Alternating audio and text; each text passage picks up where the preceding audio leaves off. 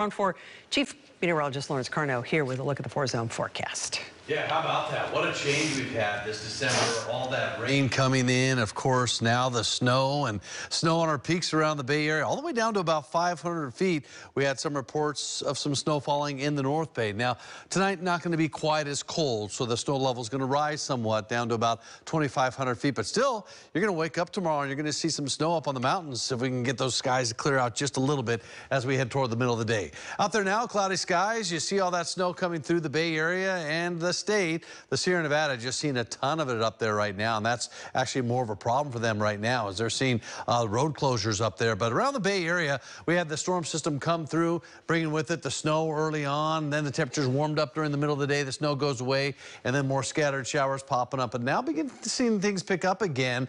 Uh, we've got another wave of moisture coming in, and we're going to see more of that overnight tonight as we're going to see more of this start to move in. You see that uh, up to our north there near Clear Lake. We're starting to see some of the snow on some of the peaks there. They've got a winter weather advisory up there, expecting a few inches of snow across some of the mountain peaks there, but also around parts of the Bay Area. Temperature's going to be dropping off, likely to see a little more snow.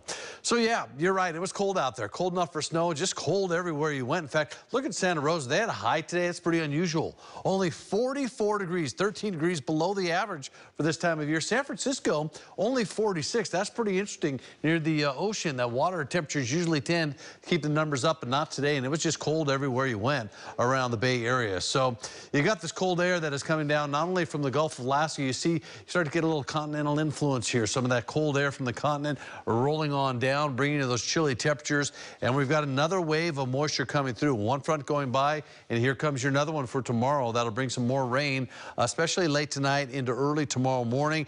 And then it looks like by tomorrow afternoon, it'll start to break up, and hopefully we'll get a sight to see some of those uh, mountaintops filled with snow. Temperatures chilly all around right now, 42 degrees right now in Livermore, 46 in Concord, 47 in San Mateo, 43 in Chile in San Anselmo. And look at St. Helena at 39 degrees. So overnight tonight, the showers will continue. Uh, maybe even a couple thunderstorms, real possibility. Got that cold, unstable air coming through into early tomorrow morning. And then we start to see some color showing up in the North Bay. You start to see some of that pink and some of that blue and the white. That's some snow being picked up by the models as that moves on through. So tomorrow, yeah, cold enough, likely to see a little more snow across some of the highest mountain peaks. And the scattered showers kind of tapering off by the afternoon.